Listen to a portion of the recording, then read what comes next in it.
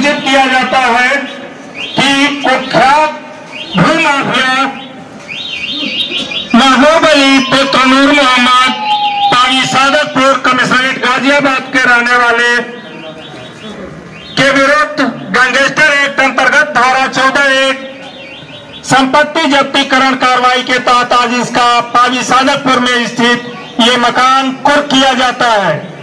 बजाओ। नमस्कार साथियों, एक बार फिर से स्वागत आप सभी का। साथियों, इस वक्त की बड़ी खबर आ रही है। उत्तर प्रदेश के लोनी से हिस्ट्री सीटर भूमाफिया महबूब अली पर पुलिस का बड़ा एक्शन। इक्यानवे करोड़ रुपए की संपत्ति की गई कुर्क। गाजियाबाद कमिश्नरेट पुलिस ने सोमवार को ट्रॉनिका सिटी थाना क्षेत्र के गाँव पावी सादिकपुर निवासी भूमाफिया महबूब अली की तकरीबन इक्यानवे करोड़ रुपए की संपत्ति कुर्क कर ली है। सबसे बड़ी कार्रवाई बताई जा रही है।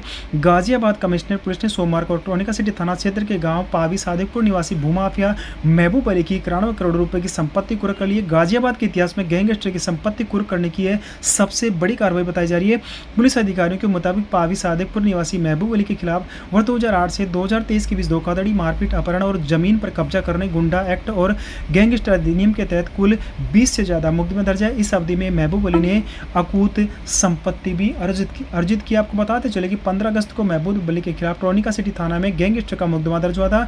इसी मुकदमे के क्रम में पुलिस आयुक्त की अदालत ने महबूब अली की कुल नौ संपत्तियों को कुर्क किया है। इन संपत्तियों का बाज़ार मूल्य इक्यानवे करोड़ रुपए बताया जा रहा है। पुलिस के मुताबिक महबूब अली की तीन पत्नियाँ हैं और बारह बच्चे बताए जा रहे हैं। तीनों पत्नियों के लिए अलग अलग कोठियाँ बनाई हुई थी। महबूब अली की जिन संपत्तियों को कुर्क किया गया वह मूलतः खेती और आबादी की ज़मीन है। इन जमीनों पर महबूब अली प्लांटिंग कर रहा है। कुर्क की गई संपत्तियों में दो बदायूं, तीन रामपुर और तीन गाजियाबाद और एक संपत्ति मुरादाबाद में है। पुलिस अधिकारियों का कहना है कि महबूब अली के खिलाफ दो हज़ार आठ में धोखाधड़ी का पहला केस दर्ज हुआ था। उसका मुख्य कार्य धोखाधड़ी करके जमीनों की खरीद फरोख्त करना और खाली पड़ी जमीनों पर अवैध कब्जा करना है। इसके खिलाफ लोनी थाने में दस ट्रोनिका सिटी थाने में सात और रामपुर के सिविल लाइन थाने में तीन मुकदमे दर्ज है। गैंग लीडर महबूब अली ट्रोनिका सिटी थाने का हिस्ट्री सीटर भी बताया जा रहा है। लगातार खबरों पर बने रहने के लिए चैनल को सब्सक्राइब ज़रूर करें। Bureau report T News.